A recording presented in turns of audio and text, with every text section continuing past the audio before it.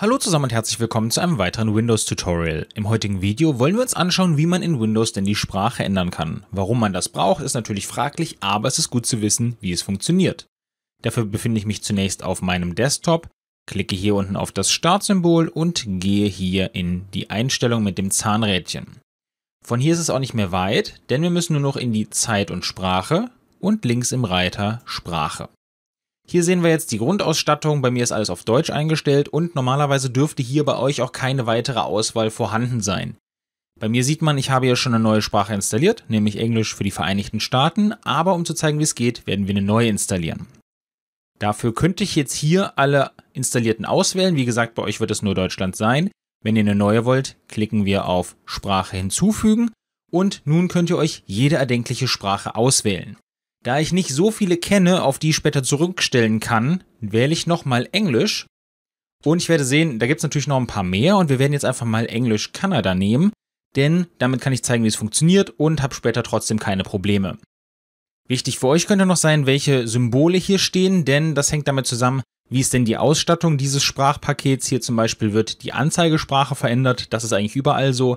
Hier haben wir aber zum Beispiel noch Text zur Sprache, das heißt, wenn ihr das sagt, dass das umgesetzt werden kann dann die Spracherkennung und am Ende noch die Handschrifterkennung. Ja, gerade bei den Englischen ist das öfter so, aber muss nicht immer sein. Wir nehmen Englisch Kanada, klicken auf Weiter und wenn ihr es wechseln wollt, könnt ihr direkt hier auf als meine Windows-Anzeigesprache festlegen. Das mache ich jetzt erstmal nicht, denn ich möchte es nur installieren, um zu zeigen, wie es funktioniert. Da sehen wir auch, dass das direkt runtergeladen wird. Wichtig dabei ist natürlich jetzt, dass ihr mit dem Internet verbunden seid. Das heißt, die sind nicht von vornherein installiert, sondern die müssen wirklich runtergeladen werden.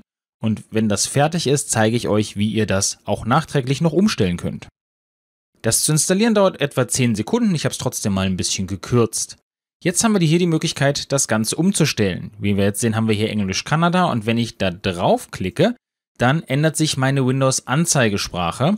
Dafür muss ich mich aber einmal neu einloggen. Das mache ich jetzt natürlich nicht, denn dann endet das Tutorial abrupt. Wir klicken hier auf Nein, später anmelden. Wie gesagt, müsst ihr nicht, könnt ihr immer noch nachträglich machen. Da sehen wir jetzt nämlich auch, was wurde in diesem Paket zunächst umgestellt. Und meine Tastatur und meine Spracherkennung ist es nicht. Was ja Sinn macht, wenn ich in Deutschland lebe, habe ich meist auch eine deutsche Tastatur und benutze die so. Aber ich kann auch hier drauf drücken und nachträglich hier auf Englisch Kanada umstellen, hier zurückgehen und das gleiche zum Beispiel auch für nicht die Spracherkennung machen, denn die scheint hier so nicht zu funktionieren. Obwohl das hier unten steht, wer weiß, warum es gerade nicht geht. Jetzt sind wir an der Stelle, wo ihr euch einfach ausloggen müsst. Manchmal geht es mit dem normalen Logout nicht. Ich empfehle hier einfach einen Neustart. Und auch dann kann es manchmal noch einen kleinen Moment dauern, dass gewisse Bereiche umgestellt werden. Zum Beispiel das Suchfeld. Ich hatte es auf Englisch umgestellt. Es hat aber zum Beispiel noch drei, vier Minuten gedauert, bis das aufs gesamte System übernommen wurde. Das heißt, wenn ihr es installiert habt, nicht gleich verzweifeln, wenn hier noch was anderes steht. Gebt dem System mal fünf Minuten und dann sollte das funktionieren. Das war's an dieser Stelle auch schon. Ich hoffe, das Tutorial hat euch gefallen und wir sehen uns im nächsten Video wieder. Bis dahin, euer Schavo. Ciao.